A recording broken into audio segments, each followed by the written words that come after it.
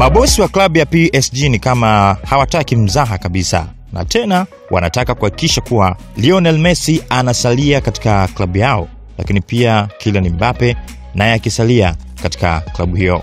Sasa hii inakuja mara baada ya rais wa klabu hiyo ya Paris Saint-Germain Nasser Al-Khelaifi. Yeye kuthibitisha mbele ya waandishi wa habari kwamba ana mpango wa kumwongezea mkataba Lionel Messi, lakini pia kumbakisha Kylian Mbappe. Aliulizwa swali kama watajaribu kuwabakisha wote, yani Messi pamoja na Mbappe.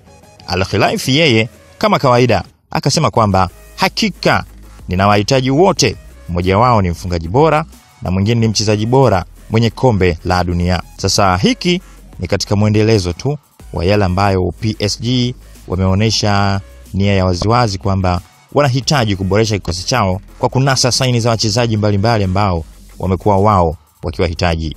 Hii inakuwa ni pamoja na zile taarifa ambazo zilitoka kwamba hata Marcus Rashford pia wanamhitaji na tena wanataka tu pale atakapomaliza mkataba wake wao wamchukue kirahisi bila kutumia gharama nyingi. Sasa hicho pia ndicho ambacho kinaendelea kati ya mabosi wa PSG na mipango yao kuhusiana na mchezaji Lionel Messi ambaye yeye ametangaza kwamba ataendelea kusakata kabumbu, tofauti na mwanzo ambapo alisema kuwa angestaafu mara baada tu ya kombe la dunia, kwa maana ya kwamba angestaafu kuitumikia timu yake ya taifa.